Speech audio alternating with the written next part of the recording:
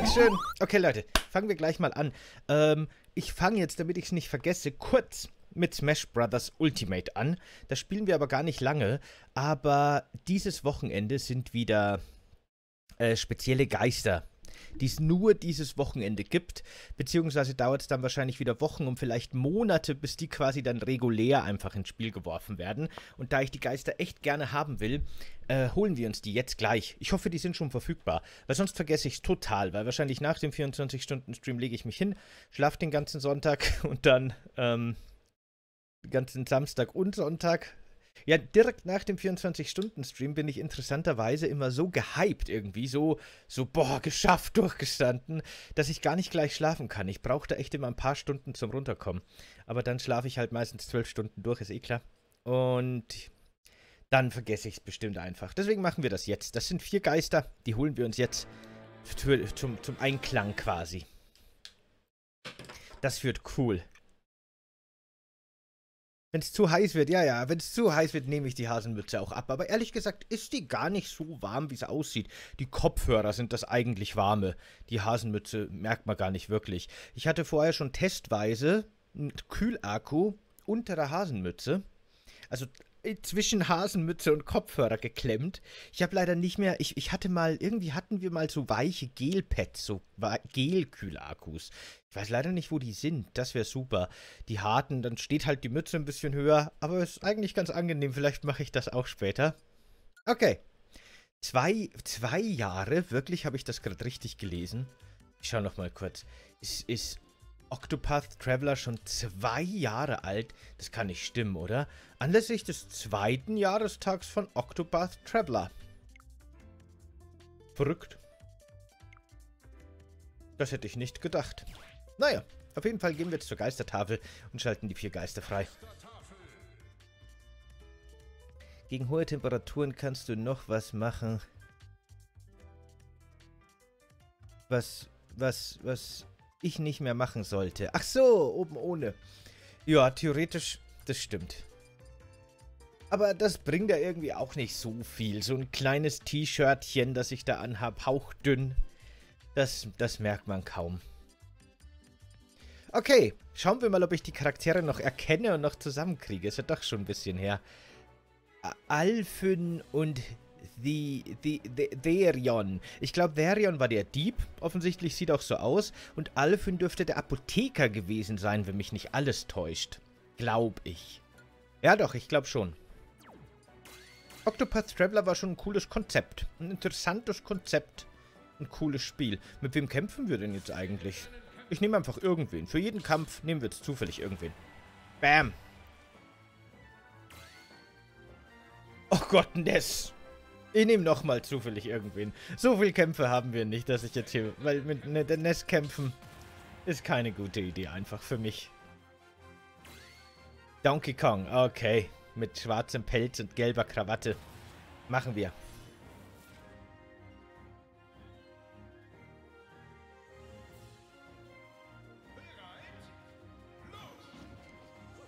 Ah ja, okay. Der Apotheker wird quasi von Dr. Mario repräsentiert, macht Sinn. Und der Dieb von Chic. Why not? Äh, und der Stage ist giftig. Ich weiß ehrlich gesagt nicht genau, warum die Gift gewählt haben als Element hier. Ich kann mich ehrlich gesagt nicht mehr so genau an die Spezialfähigkeit des Apothekers erinnern. Ich weiß noch, dass der Dieb natürlich allen NPCs im Spiel Sachen stehlen kann. Aber was der Apotheker gleich nochmal kann, weiß ich jetzt gar nicht. Also jetzt, äh, also in Octopath Traveler hat quasi ja jede Figur eine spezielle Fähigkeit. Äh, in, wie er mit anderen NPCs, mit den NPCs im Spiel interagieren kann. Der Soldat kann alle zu Duellen herausfordern, die Tänzerin kann alle zu Verbündeten machen, die Jägerin kann Tiere zähmen. Ich glaube, der Apotheker kann irgendwie befragen. Ah ja, genau. Der kann irgendwie so Symptome erkennen irgendwie. Der erkennt, wie Leute, ob Leute lügen oder irgendwie sowas in der Art. Ich kann mich nicht mehr genau erinnern. Der ist aber eigentlich ganz ähnlich wie der Gelehrte.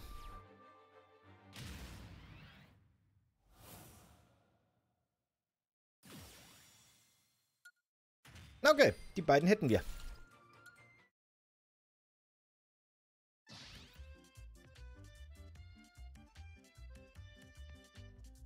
Okay, mach das.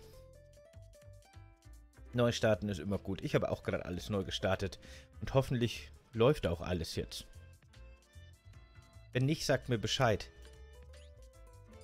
So. Ah ja, okay. Olberic und Primrose. Die weiß ich, das sind der Soldat und die Tänzerin. Der, der Soldat habe ich ja schon gesagt, der kann alle zum Kampf herausfordern.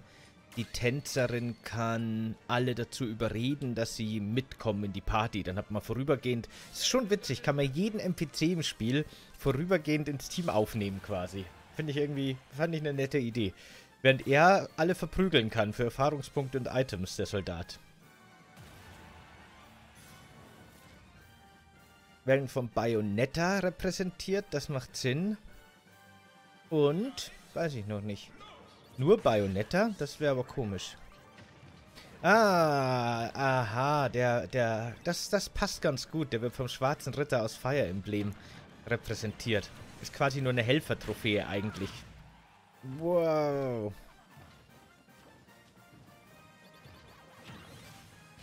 Oh mein Gott, der hat mich gerade ganz schön vom Stage katapultiert.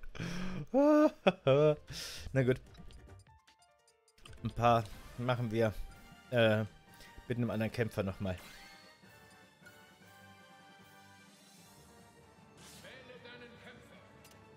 Wähle deinen Kämpfer. Machen wir.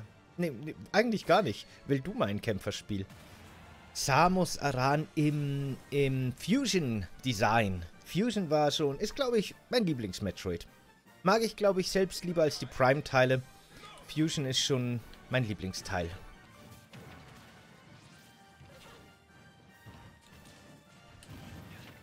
Ah, Bayonetta. Du bist so fucking schnell und nervig. Ich hasse dich.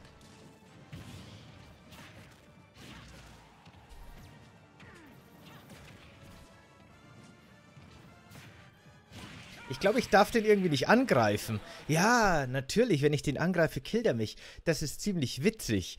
Also, das passt jetzt gerade nicht zu den Geistern, gegen die wir kämpfen.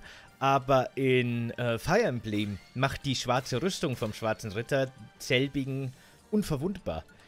Und wenn man den attackiert, kriegt man nach Fire Emblem-Regeln ja immer noch einen Gegenschlag. Und dann ist man tot, quasi.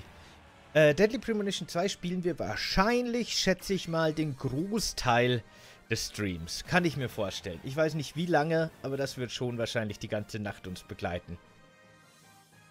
Deadly Premonition ist, glaube ich, schon ein großer Punkt. Ansonsten habe ich noch ganz viele äh, Indie-Spiele auf der Switch, die echt super nett aussehen, wo ich mir echt gedacht habe, das könnte alles eigentlich echt interessant sein. Auf die freue ich mich echt schon. Teilweise bin ich da echt sehr gespannt drauf, ob die was taugen. Ähm, dann habe ich noch das Spider-Man-Spiel. Das war reduziert. Hab mir gedacht, schaue ich mir vielleicht mal an. Das PS4 Spider-Man da. Das hat mich jetzt nicht so interessiert eigentlich, als das rauskam, aber das war irgendwie echt billig, echt günstig reduziert, habe ich mir gedacht, passt schon. Und äh, Borderlands 5 würde ich mir gern anschauen, auch das war reduziert. Dann habe ich noch dieses Tauchspiel, wie heißt es denn gleich nochmal? So ein neues Tauchspiel ist erschienen, habe ich mir für die PS4 geholt, weil das sah echt super schön aus. Nein, das war ziemlich unentschieden, oder? Dieser schwarze Ritter, ey. Jetzt ist er verschwunden. Nein, wartet mal kurz. Revanche. Okay. Okay. Ich muss das kurz. Ihr kennt das vielleicht, wenn ihr beim letzten Stream dabei wart, was ich in solchen Fällen mache, damit es nicht zu lange dauert. Nehme ich einfach Zelantropeth in Kombination mit Link. Und dann ist der Kampf wahrscheinlich ziemlich schnell vorbei, hoffe ich.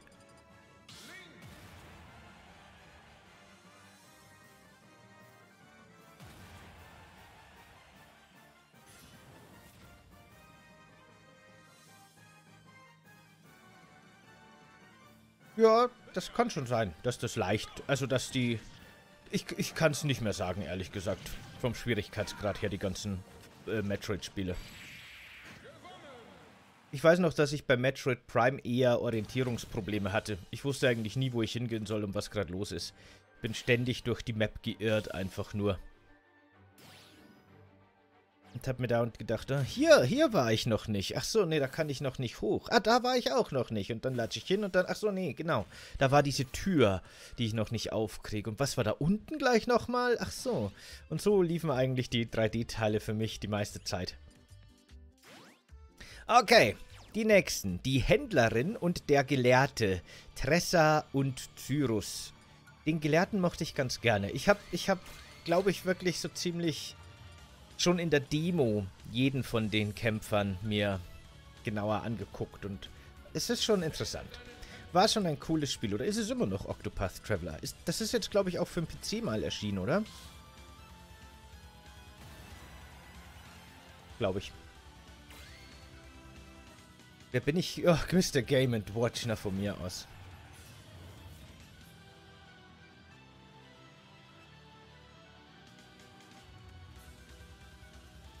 Hallo, Doc John. Okay, die Händlerin wird anscheinend durch die Bewohnerin aus Animal Crossing repräsentiert. Weil, ich verstehe ich jetzt nicht ganz. Und der Gelehrte durch den durch den Superstrategen aus Fire Emblem irgendwas 3DS. Okay, von mir aus. Aber warum jetzt... Aber gut, eine Händlerin, wer, wer, wer sonst eine Händlerin in dem Spiel, ne? Es ist auch schwierig einen Charakter zu finden, der das richtig repräsentiert.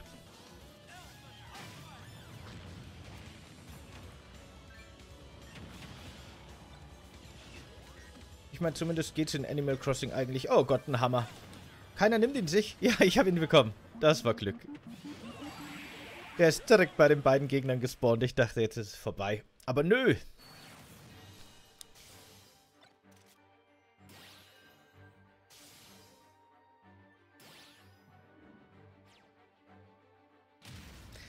Ein Geist fehlt uns noch. Zwei Octopath Traveler Hauptcharaktere gibt es noch.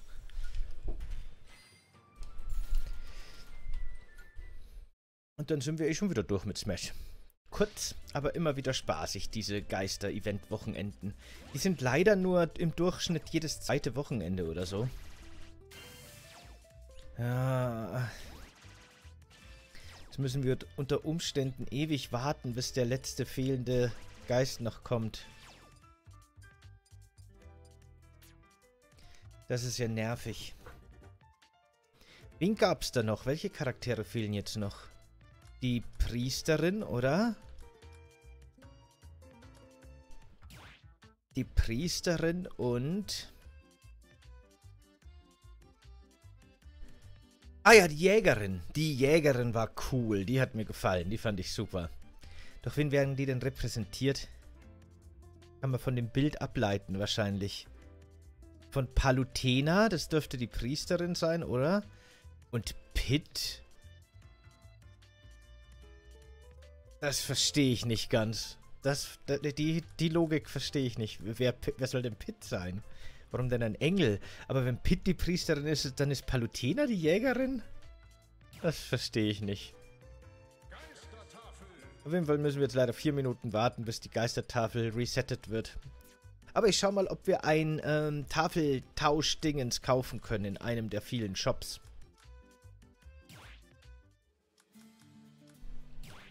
Vielleicht haben wir Glück. Pitt der Jäger, weil er einen Bogen hat. Ja, okay. Von mir aus. Aber ich finde, Link wäre eine bessere Jägerin gewesen. Ich meine, einen Tierbegleiter hat er natürlich auch nicht, aber der kann zumindest in einem Teil zu einem Wolf werden. Das Zählt, finde ich. Hi, Ortis.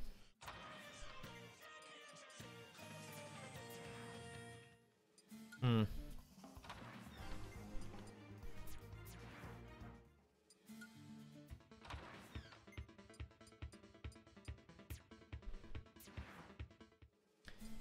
Ja, von den Figuren in Smash Brothers hat niemand, niemand einen festen Tierbegleiter, ne? Einen festen, ich glaube eine, eine Raubkatze hat die standardmäßig als Begleiter, die Jägerin. Stackhand-Duo. Das sind zumindest zwei Tiere. Oder so. Wer weiß. Hi Metatron, hallo. Na, theoretisch wäre Samus als Kopfgeldjägerin geeignet. Das stimmt. Das wäre auch gar nicht doof. Das ist wahr. Die ist halt eher so Science Fiction und so, ne? Das verstehe ich schon. Dass man die dann nicht nimmt. Aber ja. Oh, wir müssen jetzt echt einfach... Dann machen wir schnell irgendeinen anderen Kampf, während wir warten. Das ist sonst auch doof.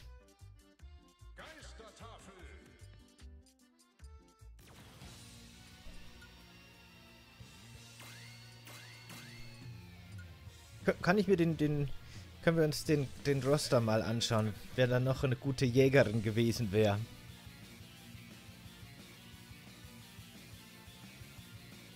Ja, es ist schon schwierig, die Jägerin aus Octopath Traveler da abzubilden mit den Figuren. Das stimmt schon.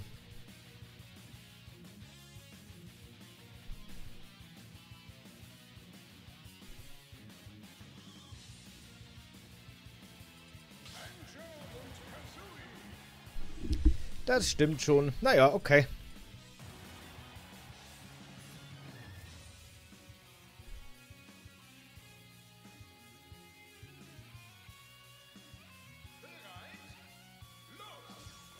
Der spielbare Charakter wäre Liberty Prime eher schwierig bei Smash Bros. Das stimmt. Als Helfer-Trophäe könnte man den einbauen. Dann macht er zwei Schritte und wirft eine Bombe und schießt ein bisschen Augenlaser und dann geht er wieder. Aber wirklich so als, wie, wie The Cluedo schreibt, als Stage Hazard oder eben so im Hintergrund, wie auch Metal Gear Rex zum Beispiel. Metal Gear Rex würde mit Liberty Prime den Boden aufwischen. Würde ich sagen. Aber Metal Gear Rex ist halt auch neben dem AT-80 mein Lieblingswalker überhaupt, ever. Deswegen bin ich da vielleicht nicht ganz parteiisch. Aber ich glaube trotzdem, dass ich recht habe. ja, großer Metal Wolf, was ist denn los? So. Heute um 19 Uhr Heute um 19 Uhr. Ah, ich war total verwirrt, als ich das gelesen habe. Ich dachte, das war gestern. Stimmt, Treehouse mit Paper Mario. Habe ich mitbekommen. Aber da will ich mir gar nicht zu viel anschauen eigentlich. Ich will das eh relativ unberührt spielen. Ähm, aber es wird noch ein anderes Spiel vorgestellt. Auf das bin ich eher gespannt eigentlich. Oh, das dauert jetzt das dauert ewig. Und dann müssen wir hoffen, dass der richtige Geist kommt. Glückenfüller! Ach, das ist ja der falsche. Den haben wir ja schon.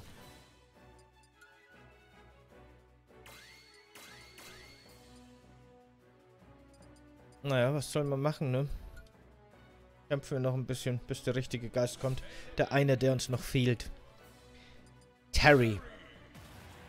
Wie gesagt, mit Fatal Fury kann ich nichts anfangen, habe ich keinen Bezugspunkt, aber mit Terry kämpfen macht einfach Spaß. Der ist ein guter DLC-Charakter von der Franchise, zu der ich leider keinen Bezug habe.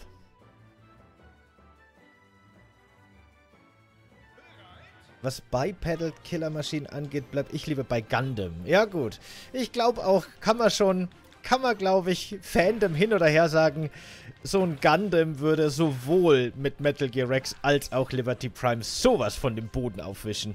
Und selbst das älteste, rostigste Gundam-Modell würde die wahrscheinlich immer noch ziemlich einfach zerlegen.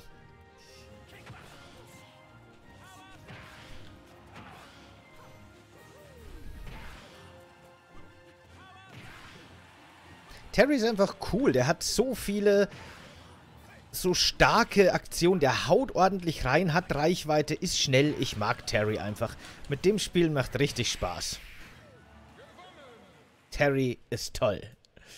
Hi Retro Gamer.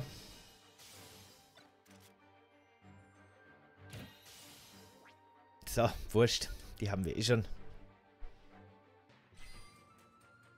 Weiß nicht, wer Stage Hazard ist, aber Liberty Prime ist cooler. Stage Hazard ist quasi in einem Spiel weder ein spielbarer Charakter noch ein richtiger NPC, sondern einfach was, das zur Map gehört, aber irgendwie so personifiziert ist. Wenn in irgendeiner Map plötzlich der Bogen aufbricht und dann kommt Lava, dann ist Lava der Stage Hazard und wenn plötzlich ein riesiger Roboter vom Himmel fällt und Laser schießt, dann ist der ein Stage Hazard. Das versteht man unter Stage Hazard.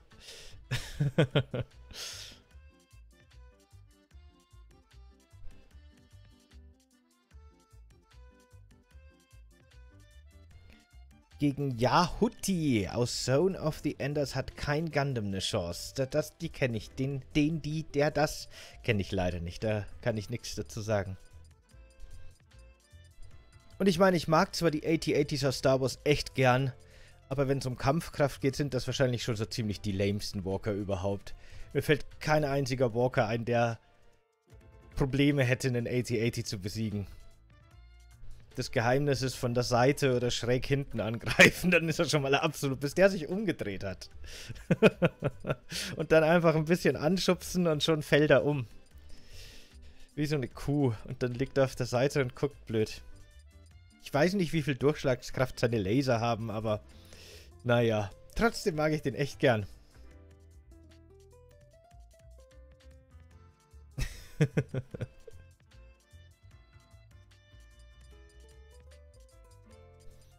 Drei Minuten, oh Gott, drei Minuten sind so lang, wann man wartet. Kämpfen wir gegen Pico, einen der vier Original F-Zero-Helden, Antagonisten, Spielfiguren halt. Fahrer, den man wählen kann. Ah, F-Zero. Wenn doch nur endlich mal ein neues F-Zero angekündigt werden würde. Das wäre so schön. Aber jetzt wird erstmal Pico G. Falcon punched. Wird von Bowser repräsentiert. Ja, kommt hin. Mit gloriosem Super Nintendo F-Zero Soundtrack. Uh, der kommt sogar noch mal zurück. Der war ein bisschen zu früh, der Falcon Punch. Aber Uh, der Falcon Punch ist immer wieder schön. Cool, das freut mich.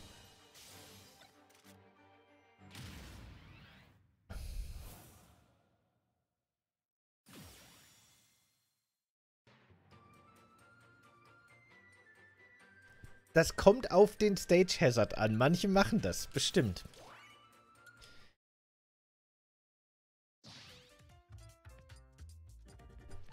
So, gegen wen kämpfen wir denn noch schnell zum Zeitvertreib? Kämpfen wir gegen so einen blöden Bocklin, oder? Ich glaube, das wird nicht allzu schwer.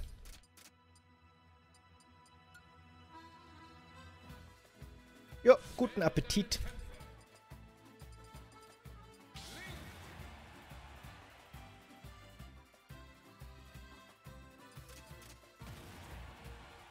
Okay.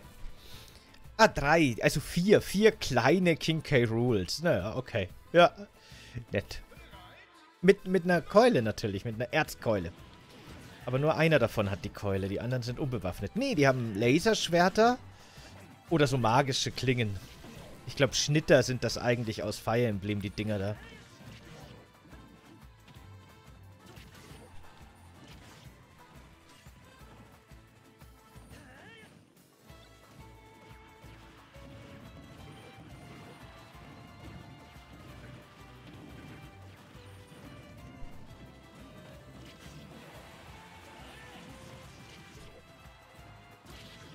So.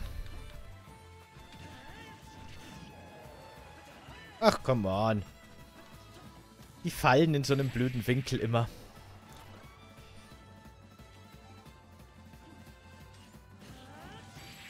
Warum man jetzt allerdings auf der Xenoblade Chronicles Map kämpft und nicht auf der Zelda Map, verstehe ich nicht ganz.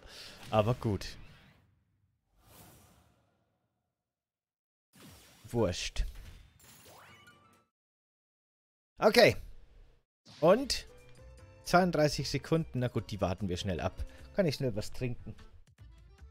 32 Sekunden lang.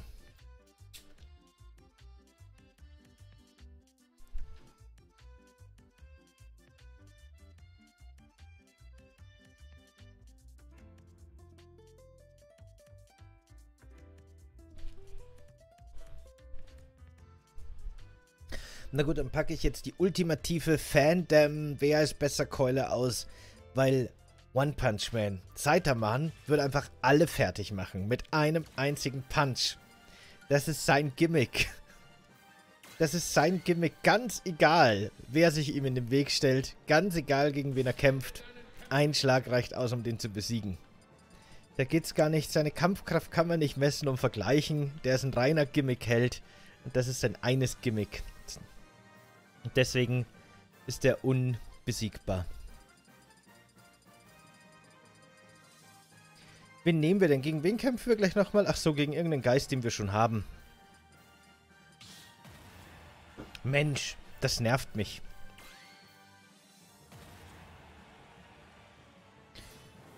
Jetzt kriegen wir den letzten Geist nicht. Wir müssen schon wieder... Oh nein, das sind ausgerechnet die beiden. Der schwarze Ritter und Bayonetta.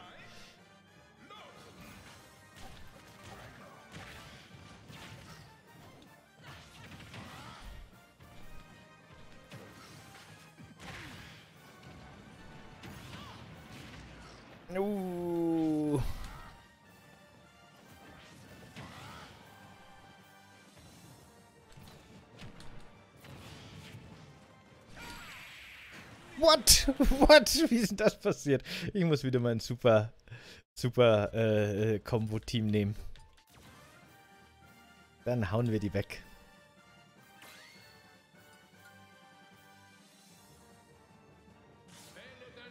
Ich finde das so cool, dass der Anime von One Punch Man dann quasi schön langsam, klammheimlich irgendwie äh, Saitaman zum Nebencharakter macht, so ein bisschen. Der ist die ersten, ja, die ersten, weiß ich nicht, 10, 20 Hefte. Ich kann es nicht sagen. Keine Ahnung. Wie viele. Ist er noch so der Haupt, Haupt, Haupt, Haupt Main-Protagonist mit ein paar Nebencharakteren. Und dann werden die Nebencharaktere immer mehr ins Zentrum gerückt und dann wird so eine Superheldengeschichte draus, wo er selber irgendwie nur noch Statist ist, so ein bisschen. Oder seine eigene Nebenstory hat, aber nicht mehr im Zentrum steht. Und das macht das Comic aber echt sehr gut. Sehr cool. Die führen quasi da am Anfang auf, den, auf dem Rücken im Grunde von Saitaman die Nebenfiguren ein und dann werden die zu den heimlichen Protagonisten. Das ist echt ganz cool.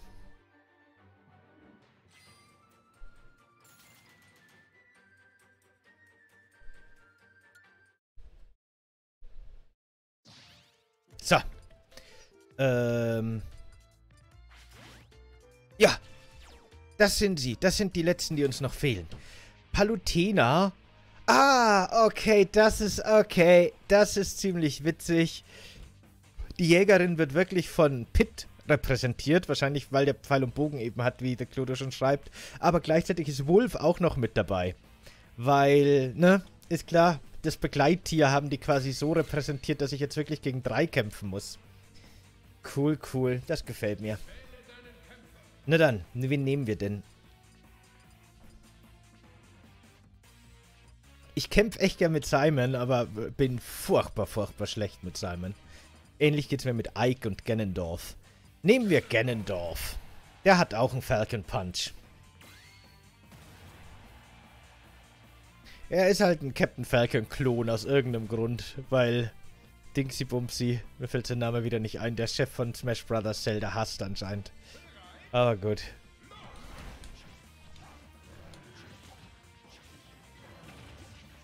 Ja! Beinahe alle drei erwischt mit einem Falcon Punch. Und schon ist der, der, der Wolfsbegleiter besiegt quasi. Oh oh.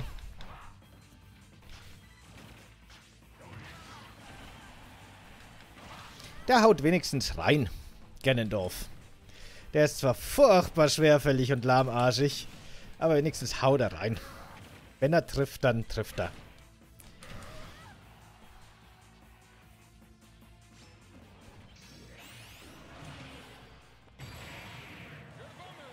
Haha.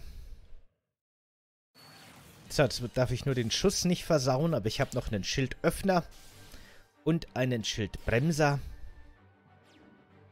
Und dann ist das ziemlich easy. Okay, cool. Dann haben wir die vier neuen Geister. Da kann ich jetzt beruhigt aufhören und was anderes spielen. Das ist cool. Bin froh, dass wir die bekommen haben, weil das hätte mich sonst, ich hätte sonst, das hätte ich die ganze Zeit im Hinterkopf gehabt, dass ich das nicht vergesse. Weil, und das ärgert mich so, ey, an einem Wochenende konnte ich nicht spielen. Da hatte ich echt keine Zeit. Ich bin nicht dazu gekommen. Und deswegen habe ich jetzt hier diese drei Schandflecken hier. Ah, ich habe auch noch einen Arms-Charakter noch nicht freigespielt, aber der läuft mir nicht weg. Aber die drei, ich weiß nicht mal, was das ist. Das ist irgendeine Franchise, die mich gar nicht interessiert. Aber die drei brauchen jetzt wieder Monate, bis die wirklich ins Spiel kommen und freigeschaltet werden können. Ich hätte gehofft, dass die jetzt mit dem neuesten Update, mit dem 1.8, das auch Min Min eingeführt hat, hier äh, aufgetaucht wären, aber stimmt überhaupt nicht. Und jetzt haben wir den Salat. Na super. Aber wenigstens habe ich jetzt die vier hier die quasi 8 sind oder so. Naja, cool. Äh, Fallen Crusader, danke fürs Followen. Was haben wir denn da für einen Emoji? Der Pride Dragon. Der... Ha, sieht komisch aus. Cool, Dankeschön. Okay, passt. Schmess Brothers.